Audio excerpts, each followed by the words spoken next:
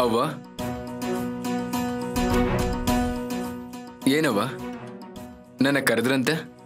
ಇತ್ತೀಚೆಗೆ ನಿನ್ನ ಕರೀಲಿಲ್ಲ ಅಂದ್ರೆ ಎಲ್ಲಪ್ಪ ಬರ್ತೀಯಾ? ನೀವ್ ಯಾಕೆ ಹಾಗನ್ಕೋತೀರವ್ವ ನಿಮಗ್ ಗೊತ್ತಿದೆ ಅಲ್ವಾ? ನಾನು ನಿಮ್ನ ಎಷ್ಟು ಪ್ರೀತಿಸ್ತೀನಿ ಅಂತ? ಹಾ ಗೊತ್ತಿದೆ. ಇವತ್ತೇನೋ ಅವ್ವ ತುಂಬಾ ಗಂಭೀರವಾಗಿದ್ದಾರೆ.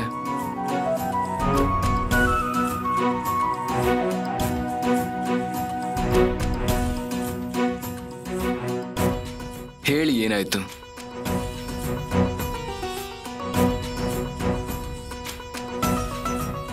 ಯಾಕೆ ನನ್ನ ಮೇಲೆ ಕೋಪ?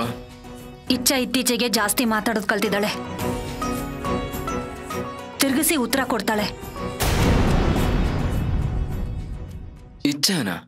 ನೋಡಿದ್ಯಾ? ಇಚ್ಛ ಹೆಸರು ಹೇಳ್ತಿದ್ದ ಹಾಗೆ ಬಾಯ್ ಹೇಗ್ ಬಿಡ್ತೀಯ ಅಂದ್ರೆ ಅವಳು ಹಾಗೆ ಮಾಡೋಕ್ ಸಾಧ್ಯನೇ ಇಲ್ಲ ಅನ್ನೋ ಹಾಗೆ. ಅವ್ವ ನಾನು ನಿಮ್ಮ ಹತ್ರ ಕೇಳ್ತಿದ್ದೀನಿ ಅಷ್ಟೇ. ಆದ್ರೆ ನೀವು ಪದೇ ಪದೇ ಬೈತಾನೆ ಇದ್ದೀರಾ? ಓ, ಈಗ ನಿನ್ನ ಅವ್ವನ್ ಮಾತು ಬೈಗಳ ತರ ಕೇಳಿಸ್ತಾ ಇದ್ಯಾ ನಿನ್ಗೆ? ಚಂದ್ರ ಏನೋ ಹೇಳಿದ್ಲು ಅಂತ ಎಷ್ಟೆಲ್ಲ ಮಾತಾಡ್ಬಿಟ್ಲು ಅವಳು ಗೊತ್ತಾ? ಅವಳು ಮಾಡಿದ್ದು ನನಗೆ ಸ್ವಲ್ಪನೂ ಇಷ್ಟ ಆಗ್ಲಿಲ್ಲ.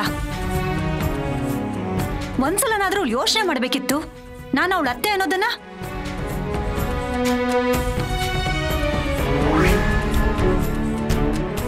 ಅವ್ವ. ನಿಮ್ಮ ಮತ್ತೆ ಇಚ್ಛಾ ಮಧ್ಯೆ ಬರೀ ಅತ್ತೆ ಸೊಸೆ ಸಂಬಂಧ ಅಷ್ಟೇ ಅಲ್ಲ. ನೀವು ಅವಳಿಗೂ ಅವ್ವನೇ. ಮತ್ತೆ? ಇಚ್ಛಾ ಏನಾದ್ರೂ ಚಂದ್ರಕ್ಕಂಗೆ ಎದುರುತ್ರ ಕೊಟ್ಟಿದ್ರೆ ಅಕ್ಕ ಕೂಡ ಅವಳಿಗೆ ಏನೋ ಹೇಳಿರ್ಲೇಬೇಕಲ್ವಾ?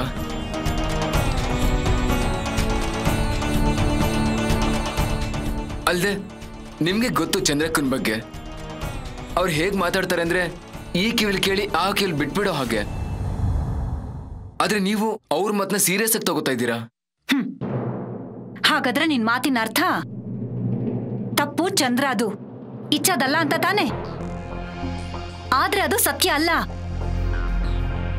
ಸತ್ಯ ಏನು ಅಂದ್ರೆ ಚಂದ್ರ ಆಡಿದ ಮಾತು ಇಚ್ಛಾಗೆ ಸಹಿಸ್ಕೊಳಕ್ಕಾಗ್ಲಿಲ್ಲ.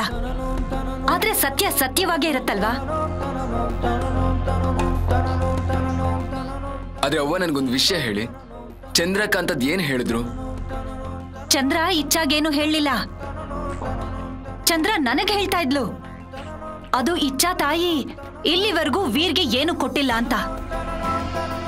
ಆದ್ರೆ ತಪಸ್ಯ ಅಮ್ಮ ಬೇಕಾದಷ್ಟು ಉಡುಗೊರೆ ಕೊಟ್ಟಿದ್ದಾರೆ. ಆದ್ರೆ ಅವ್ವ ಚಂದ್ರಕ್ಕನೆ ಅಮ್ಮಗೆ ಅವಮಾನ ಮಾಡಿದ್ದಾರೆ. ನೀವು ನೀವು ಚಂದ್ರಕ್ಕಗೆ ಹೀಗೆಲ್ಲ ಮಾತಾಡಬಾರ್ದು ಅಂತ ಹೇಳ್ಬೇಕಿತ್ತು. ನಿನಗ ಅರ್ಥ ಆಗಲ್ಲ ಅಪ್ಪು. ಹೆಣ್ಮಕ್ಳು ಗಂಡನ್ ಮನೇಲಿ ಏನೆಲ್ಲ ಕೇಳ್ಬೇಕಾಗತ್ತೆ?